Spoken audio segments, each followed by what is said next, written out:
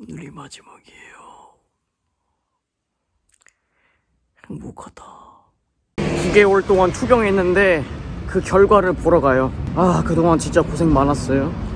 매일 같이 약 챙겨 먹고, 약 이 독해가지고, 아침에 그거 먹고 졸려가지고, 약 먹고 바로 자고, 그럴 때도 있고, 솔직히 처음 1, 2개월 때가 제일 고통스러웠어요. 첫 1, 2개월 때는, 그때는 일어났을 때, 온몸이 저리고, 가슴도 답답하고, 내 몸이 정상으로 돌아갈 수 있는 건가? 라는 생각을 했다니까요. 아마 유튜브에는 사진을 안 올린 것 같은데, 저 약 먹고 부작용 나가지고, 피부 전신에 발진 생기고, 다리는 이유 없이 찌릿거리고, 그래가지고, 나 무슨 엄청 심각한 부작용인 줄 알았는데, 다행히도 그거는 또 아니더라고. 운동을 조금만 해도 다리가 찌릿거려가지고 주저앉고 그랬었어요. 그때는 정말 절망적이었는데, 이 약이 줄어드는 시기가 있어요. 후에 약이 줄어들고 나서는 그 다음부터는 괜찮더라고요. 제가 방송하면서 항상 규칙적인 생활을 못 했었어요.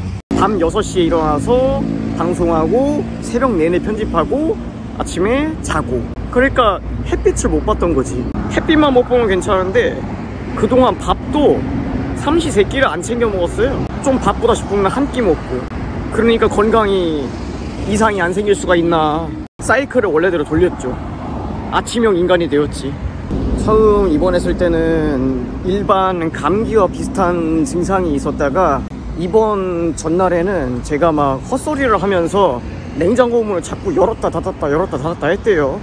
그래가지고 아버지가 그거를 이상하게 열어가지고 입원시켰는데 그 후로 저는 아무 기억이 안 나요. 그 후로 님들 다 아시다시피 저는 세계가 멸망하는 꿈을 꿨었어요.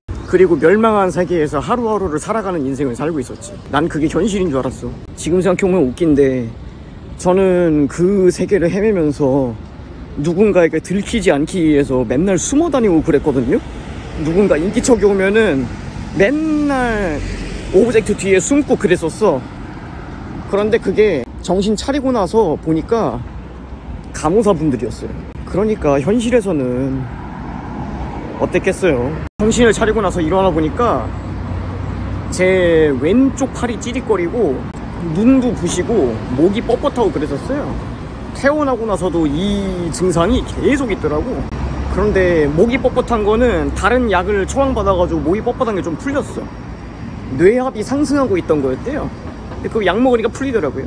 그리고 눈이 부신 거는 야 나 눈이 부신 거는 아직도 모르겠는데 제가 그것 때문에 막 안과 검사도 하고 별의별 검사를 다 했는데 아무 이상이 없었어요. 눈은 오히려 정상이래.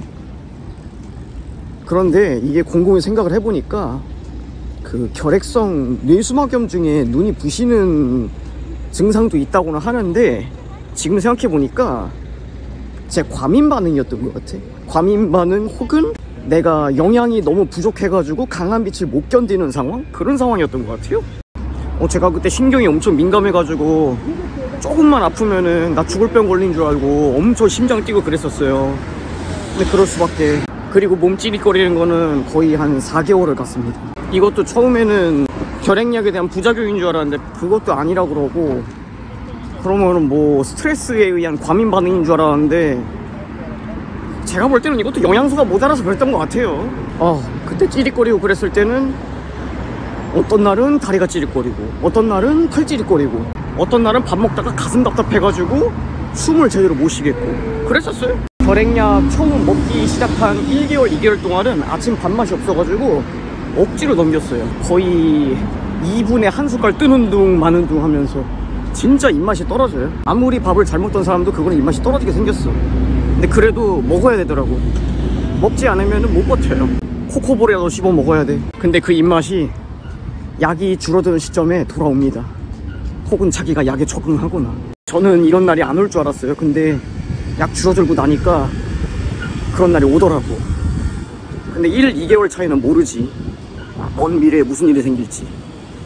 어쨌거나 병원이에요. 다 왔어요. 안녕하세요. 넘어가자. 결론부터 말하면 치료 종결 못했어요. 못한 이유가 이상이 있는 건 아니고 제가 그 표준 치료 개월 수에 조금 모자란데 그래가지고 그거 다 채우고 그 다음에 MRI 찍고 보자고 하시더라고 넘어가자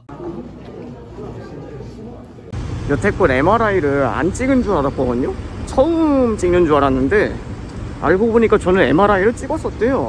근데 그게 저는 기억이 안 나요. 언제 MRI를 찍었었나 했더니 제가 이제 병 걸리고 초반에 쓰러졌잖아요. 그때 MRI를 찍었었대요. 세 번을 실패하고 네 번을 찍었었대. 세 번 실패한 이유는 매번 찍으려고 할 때마다 제가 발작을 하고 난리를 치고 소리를 지르고 그랬대요. 그러고 네 번째에도 발작하고 소리 지르고 그래가지고 결국에는 마취시키고 찍었대. 그거를 저희 어머니가 곁에서 보셨대요. 곁에서 그 광경을 보신 어머니는 얼마나 기분이 착잡했겠어요. 찍으러 가야겠네요. A few moments later.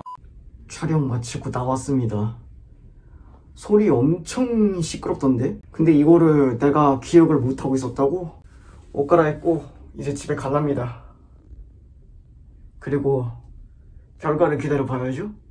2000 years later. 5월 31일 드디어 마지막이에요. 솔직히 어제 진짜 잠 못 잤습니다. 떨려서요.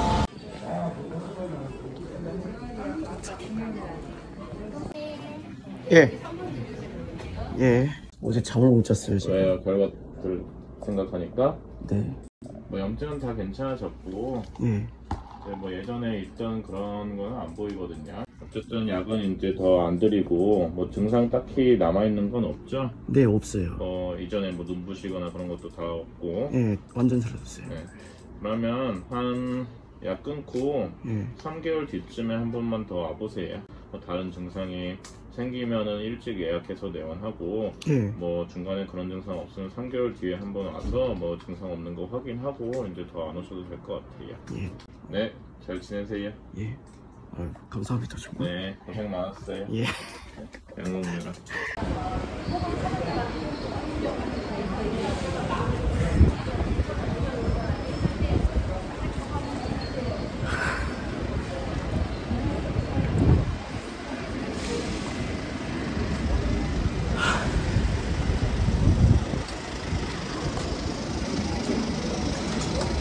3개월 뒤에 한 번 더 오라고 하시는데 결과적으로는 지금 이사 있는 게 아무것도 없대요. 요란하게 세레모니 하고 싶은데 사람이 많아가지고 여기까지. 나중에 방송에서 뵙시다.